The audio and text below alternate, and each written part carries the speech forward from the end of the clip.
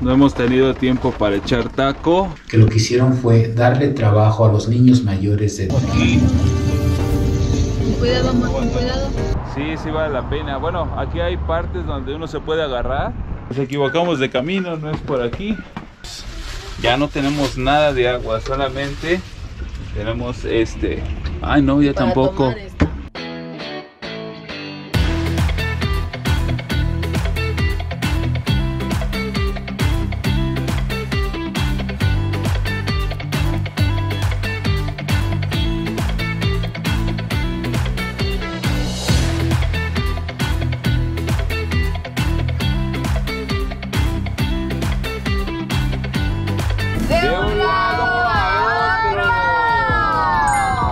Cómodo.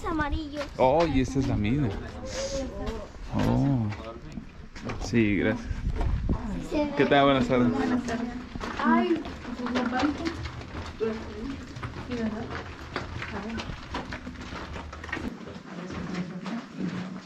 Algunos se lastimaron, otros lamentablemente perdieron la vida quedando electrocutados.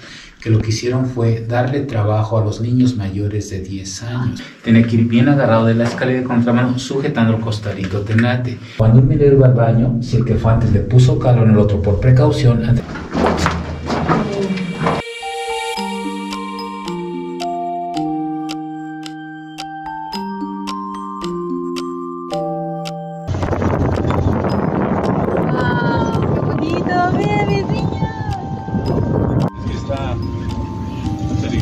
aquí. Cuidado, más cuidado.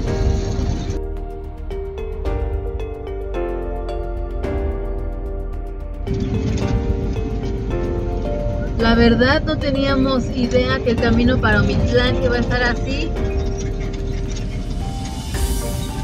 Vamos con los nervios de punta. Sí, sí, sí, sí está, está peligroso, es pura bajada. Sí, aquí dice Omitlán de Juárez. Bienvenidos.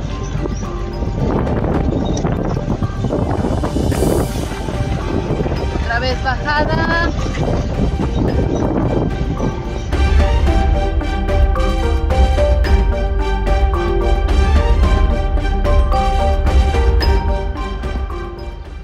Y para los que no nos conocen, somos Luis. Y Lupita y junto a nuestros niños formamos la familia viajera De un lado a otro. Llegamos ahora sí a la temporada de frío en lugares muy frescos. No hemos tenido tiempo para echar taco. Estamos abrigando, vamos a salir. Por cierto, llegamos a Omitlán. Miren qué bonito parque. Allá dejamos a Cali. Qué bonito. Es el Palacio Municipal.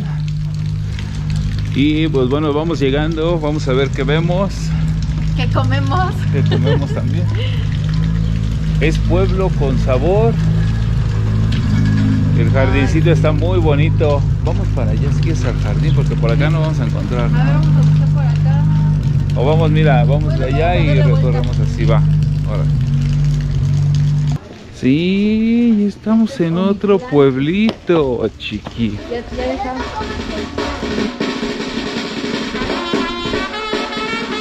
Omitense. Corredor con, corredor con sabor, mira,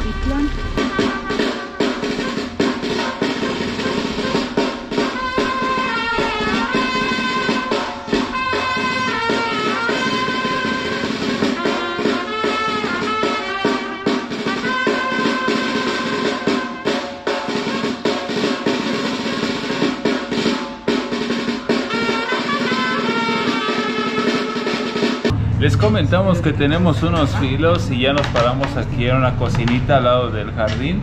Que por fortuna la alcanzamos abierta porque ya estaba a punto de cerrar. Gracias a Dios, otro día más con alimento, provechito, aquellos que nos andan acompañando. Muchísimas gracias. Miren, es lo que vamos a comer, comidita corrida. un lago aquí. Ya nos estábamos despidiendo para ir a descansar, pero encontramos este callejón, es el callejón del dicho de Omitlán. Hay fotos de lugares emblemáticos o reconocidos aquí de Omitlán. Sí, estamos viendo que hay los prismas de Omitlán y están las piedras, estas con forma. Ay, se me pasó el nombre. Pero sí, hay varias cosas interesantes. Buenas noches. Y está decorado con sombrillas. Vamos a venir en el día a ver qué tal cómo se ve. Porque se ve muy bien. Aquí fue donde pasamos la noche, al lado del callejón del dicho. Lo prometido es deuda. Estamos visitando el callejón del dicho de día. Qué bonito se ve, bien adornadito con sus sombrillas. Es algo similar los dichos que vimos allá en Real del Monte, igual en el callejón del dicho. Para que se den una idea, dice alguno, por mi Rodrigo Espitia, por mi aguado. Más o menos ya se acordaron de los dichos de Real del Monte, pues son los dichos de los mineros. Don Chayote, están inténticos. Siguen estando raros. Miren mis niños. Mira, el Rafita también los quiere descifrar. ¿Verdad? Es el pan de pulque y en una mano la manzana, la fruta. Yo creo que es definiendo lo que es el pueblo con sabor.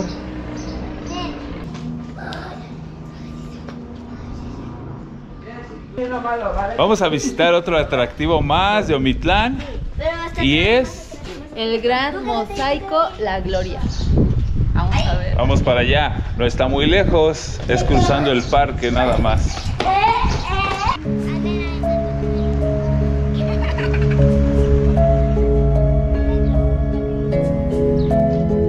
Vamos al gran mosaico, la leyenda viviente. Cuenta la leyenda que cada 24 de junio a las 12 a.m., día de San Juan, se abre una cueva en la parte trasera del sumate, en la cual el tiempo pasa de manera singular. Un día en el interior es un año en el exterior, donde se encuentran grandes riquezas que una hermosa niña solicita ser llevada al atrio de la iglesia de Nuestra Señora del Refugio. Siendo pocos los elegidos, pone como única condición no voltear atrás. Escuchasen lo que escuchasen, haciéndose cada vez más pesada en el trayecto y al mismo tiempo presentándose ruidos cada vez más extraños. La hermosa niña le susurra al oído, no voltear, no voltear, el cual termina vencido por la curiosidad al oír los gritos de los pobladores horrorizados, dándose cuenta que la niña se convirtió en serpiente, arrojándola al suelo y siendo arrastrado hacia el sumate, convirtiéndolo en una más de las piedras que existen en esos parajes. Se dice que la serpiente vuelve llorando a la cima de la montaña para refugiarse esperando bajar nuevamente en forma de niña a la llegada de su nuevo elegido, cuya valentía pueda romper con el encantamiento de dicha piedra y tomar posesión de las inmensas riquezas que están en el interior. Desde ahí empieza lo que es este pasaje.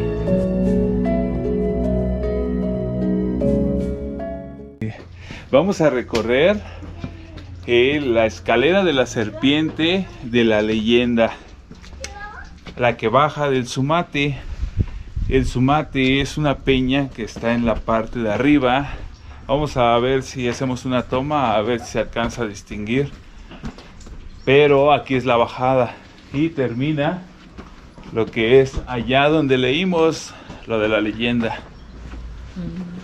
Como dato adicional, son 167 escalones los que vamos a subir y viene marcada aquí la, la serpiente.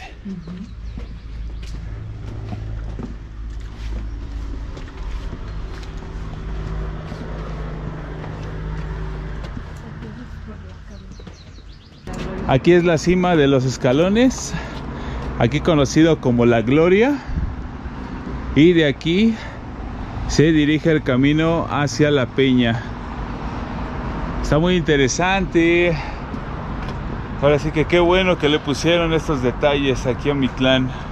Es bueno saber que, se interesan por el turismo, porque la gente llega y encuentre algo en los lugares que visita. Sí, de hecho, eh, no les grabamos con la Go, pero Luis se encontró con lo que es el presidente municipal de aquí de Omitlán y le estaba comentando el presidente que este pasaje turístico tiene aproximadamente año y medio, que no había mucho por visitar, mucho que hacer aquí en Omitlán y estaban pues checando la novedad aquí de- del pueblo. Sí, sí, sí, qué bueno, qué bueno que le, le pongan esos detalles a los lugares. Porque los pueblos tienen sus detalles, pero esto hace que pues llame más la atención. Y Está eso bien. es siempre bien para la comunidad, la verdad. Así es. el turismo es- les ayuda a generar ingresos aquí a la comunidad y eso pues siempre es para bien. Por acá está la carretera que lleva a Huasca. Nos vamos a regresar y vamos a visitar la piedra del comal.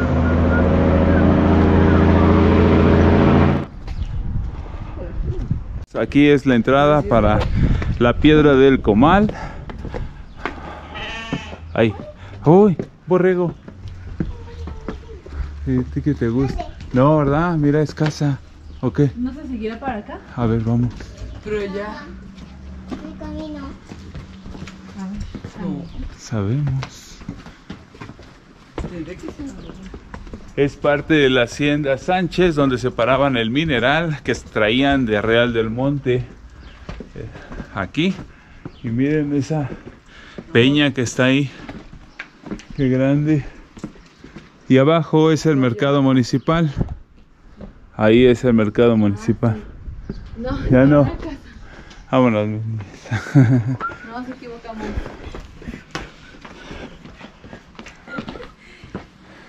Nos equivocamos de camino, no es por aquí. que cada escalón es un el nombre de algún local. Por ejemplo, aquí Cocina Veda fue donde comimos ayer. Ay, qué padre, sí es cierto. La burbuja, lavandería.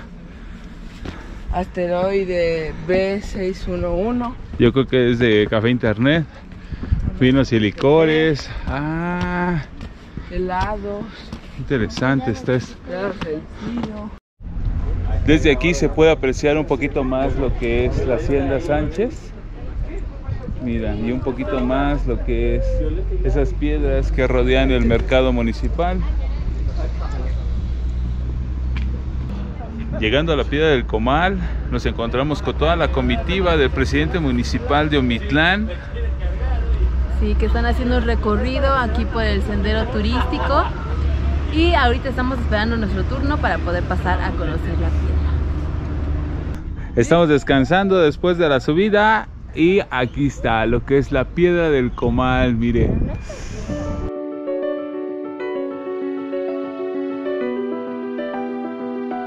Estamos en la carretera y está impresionante. Así se siente vértigo.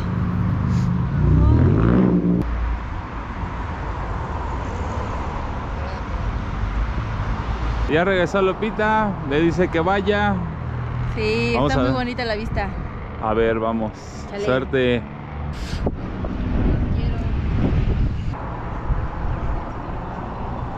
Sí, sí vale la pena. Bueno, aquí hay partes donde uno se puede agarrar.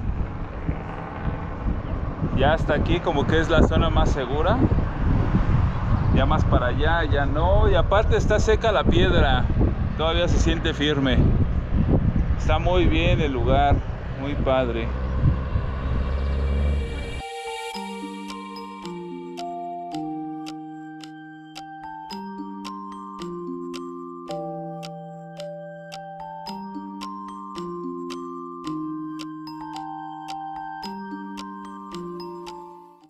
Ya bajamos de la piedra del comal y aquí nuestro matemático Dice que son... 217 escalones. Oh, y sí son bastantes. Sí, con razón duelen las piernas. Como detalle, miren. Ya vamos. ¿Qué encontraste, nena? Un tipo de arcilla. Ay, mira. Ahí viene jugando con ella. Ten cuidado nada más de la ropa. A ver, ¿qué estás moldeando? A ver. Un huevito. También. wow. Y ya antes de llegar a la casita pasamos por algo para botanear aquí con las papas Don Goyo. Miren, yo pe- pedí unas a la francesa, Rafa naturales y estas niñas se pidieron unas.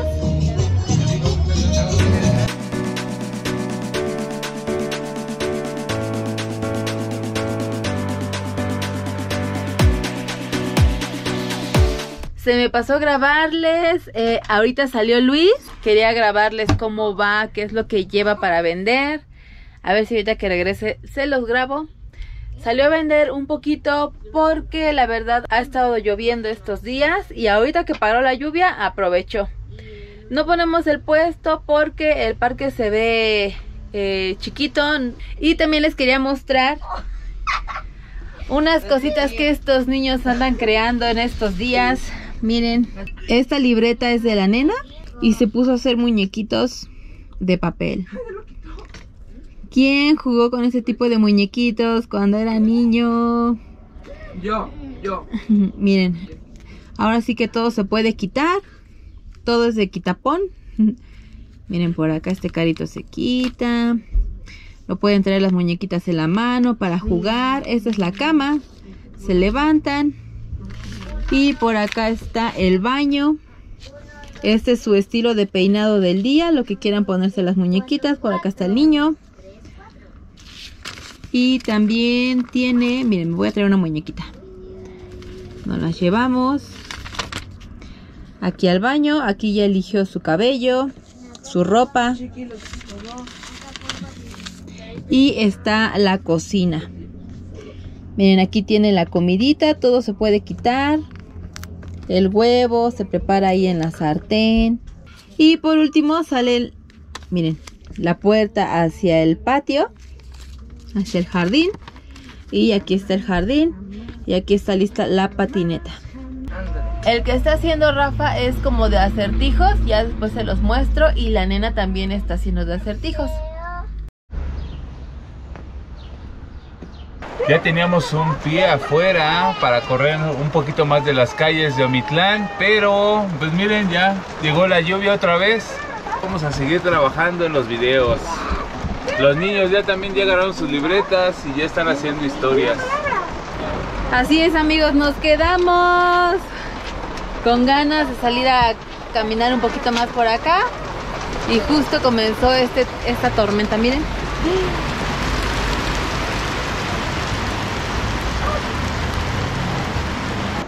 Yo les iba a mostrar lo que Luis se lleva a vender cuando se va a, a dar la vuelta por acá.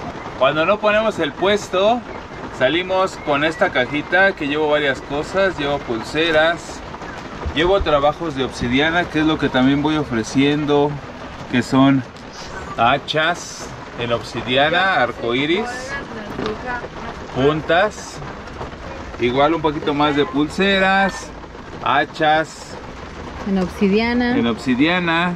También seguimos manejando lo que son los puros de la zona tabacalera de Veracruz en diferentes tamaños. Ya saben las pulseras que hace Rafa, esas cómo se venden. Y ya eso es lo que me llevo para estar ofreciendo y gracias a Dios, gracias a Dios se ha movido. Así es, y así vamos sumando kilómetros en esta aventura. Gracias, gracias. Hola. Continuamos aquí en Omitlán y continúa la lluvia. Miren, tenemos todo cerradito porque está lloviendo. Y Luis se acaba de ir al internet para subir el nuevo video. No hay agua. Sí, ya, ya vamos para allá, chiqui. Sí, la verdad en este lugar le hemos batallado un poquito con el agua, no hay despachadoras Y purificadoras para rellenar el garrafón tampoco hemos encontrado. Vamos a ver qué hacemos. Ya no tenemos nada de agua, solamente tenemos este. Ay, no, ya tampoco. Y para tomar, miren nada más la que hay. Vamos a movernos a conseguir agua. Ya todos listos ahí atrás. Tocó avanzar. Ya saben que en estos momentos tenemos sentimientos encontrados. Ya nos estaba gustando este lugarcito. Está muy bonito, muy tranquilo. Y a pesar de la lluvia, la verdad, lo pudimos disfrutar muy bien. Sí, algo totalmente diferente. Ah, sí, le quedan. Miren, paramos por aquí en una purificadora. Ahí está Luis. Tuvo que tocar para ver si lo atienden. A ver si tienen agua.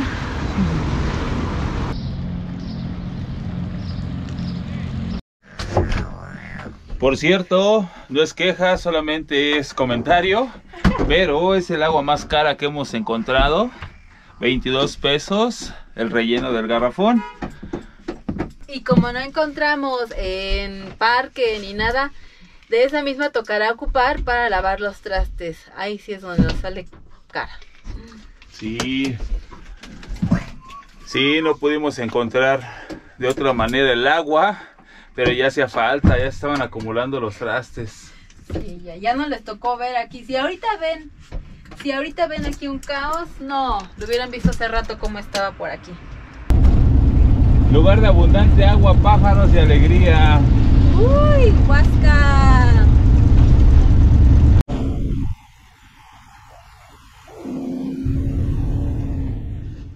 Oh, y esta es la mina.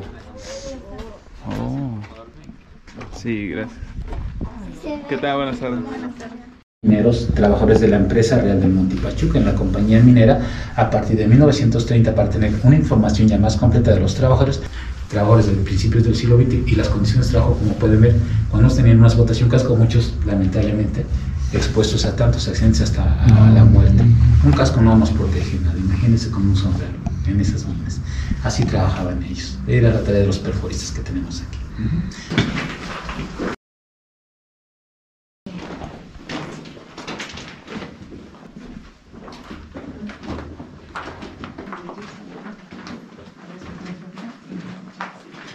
Bien, miren, los carritos de mina como este que tenemos y los que vimos allá afuera, carro de mina, o mejor conocido como concha. Por los mineros, su capacidad sí es una tonelada de minerales y también es cierto que para principios del siglo XX, ya con la electricidad en el pueblo, cuando ya bajan motores a los túneles, motores con mucha potencia. Los motores allá abajo podían jalar de 20 a 25 carritos como este. Así que imaginen trencitos llegando hasta los elevadores y con la electricidad fue un sistema rápido, pero también muy peligroso. Peligroso porque fue un sistema muy parecido al de un trolebús. Es decir, que en los túneles, además de poniendo las vías, ponían los cables de alta tensión, cables desnudos de alto voltaje que a veces en partes bajitas de sus túneles y mineros que por accidente, que iban herramientas aquí en el hombro o iban a su lugar de, de trabajo, hicieron contacto con el cable de alta tensión y abajo la vía se imaginan, algunos se lastimaron, otros lamentablemente perdieron la vida quedando electrocutados. Otro peligro para ellos, pero también la forma más rápida para cargar los minerales en el siglo XX y parte del siglo XXI. En estas minas hubo españoles. Españoles sí trabajaron en estas minas desde 1552 hasta 1821. Bueno, para ellos a fines del siglo XVIII su necesidad de mano de obra era tan grande para seguir explotando las minas que lo que hicieron fue darle trabajo a los niños mayores de 10 años. Un niño de 10 años en una mina y trabajó en la universidad ayudar a los carpinteros, les iban trayendo maderas no muy grandes ni muy pesadas, pero sí necesarias para hacer algunas estructuras ahí abajo y forzándolos a trabajar turnos de 12 horas. ¿Se imaginan? Un niño de 10 años, 12 horas en una mina, eso fue una injusticia y una explotación. Y en aquella época tampoco había elevadores. Así que también durante cientos de años y la forma de, de llevar los minerales a superficie, en este caso los trabajadores o esclavos, fue utilizar escaleras que hacían con troncos.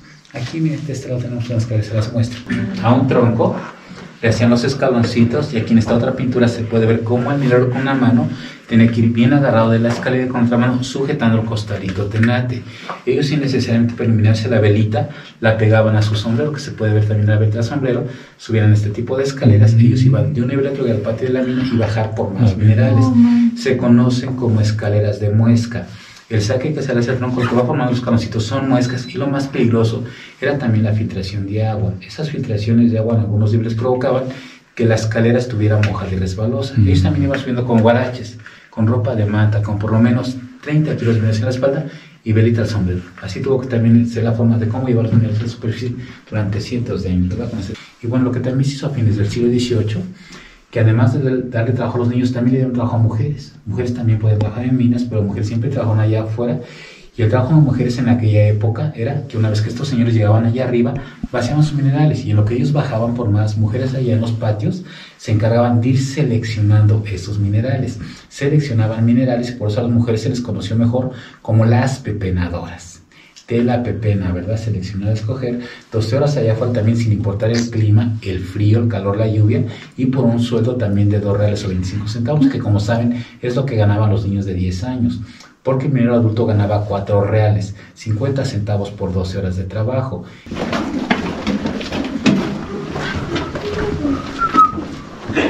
Cuando un minero iba al baño, si el que fue antes le puso cal en el otro por precaución, antes de sentarse, sí le ponía un poquito de cal, porque si no lo hacía, y si el compañero que fue antes tenía una enfermedad que era contagiosa, corría ese riesgo de contagiarse con la enfermedad de su compañero.